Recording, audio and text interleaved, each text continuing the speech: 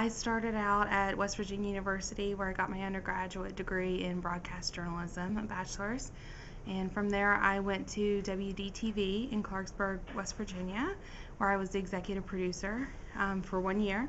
And then I moved on to KDK in Pittsburgh, where I was a producer for two years. And from there, I went to Miami, Florida, where I was also a producer for two years before um, applying to graduate school and coming here to Ohio University. Teaching had always been something that I really always wanted to do, um, but in order to teach journalism, I thought I needed real world experience. So I went out, um, produced for a while, got a feel for the market, and now I'm back to get my degree so that I can hopefully teach journalism on a college level. I definitely think that my education in journalism gave me all the tools I needed to be a successful journalist. When I started my first job, I immediately felt comfortable. There are just some things that you learn in journalism classes that just translate immediately to the real world. And I think that's something that's unique about journalism that you don't always see in other fields.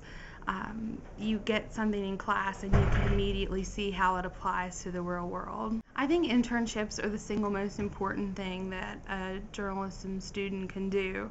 Um, I know that my internship led directly to a job. I basically never stopped working. I started working at WDTV as an intern while I was a um, senior in college, and basically I never had to look for a job. I had a job offer before I even graduated, so I just transitioned right from that internship right into the into the job market. And I found I found that to be true for a lot of people that I know that are in the industry. That's the way to get your foot in the door. That internship. If you don't get a job from it, you're at least getting practical, hands-on experience that employers want to see when they go to hire. Networking is another big important step to do. Um, take advantage of every contact that you ever had. Again, with my own experience, um, while I was sec- looking for my second job, I contacted one of my journalism professors and asked her for some advice on how to put together a tape for a producing position. And she said, Oh, let me get you in contact with my friend who works at KDK in Pittsburgh. She can help you. Um, give you an idea of what you need to put on a tape. And um, she, so I emailed her and she said, Oh, well, you need to put this, this, and this on a tape. And by the way, I'm hiring, so why don't you send me one of those tapes? And it led directly to a job.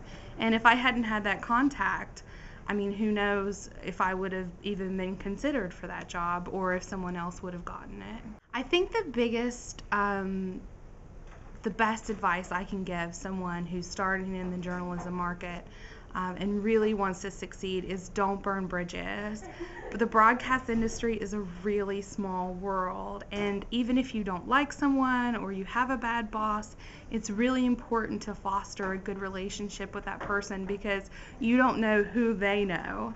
And I think that was a tip that one of my undergraduate professors gave me that I've always followed. And I think it's come in handy because it really is such a small world. Um, everyone knows everyone, and so if you um, if you burn bridges, you may want to walk across them later. I'm actually already in the process of applying to um, the PhD program here, so I'd like to go on and get my PhD. And like I said earlier, I, I really want to teach journalism. I love teaching, I love journalism, and it's really amazing to combine the two.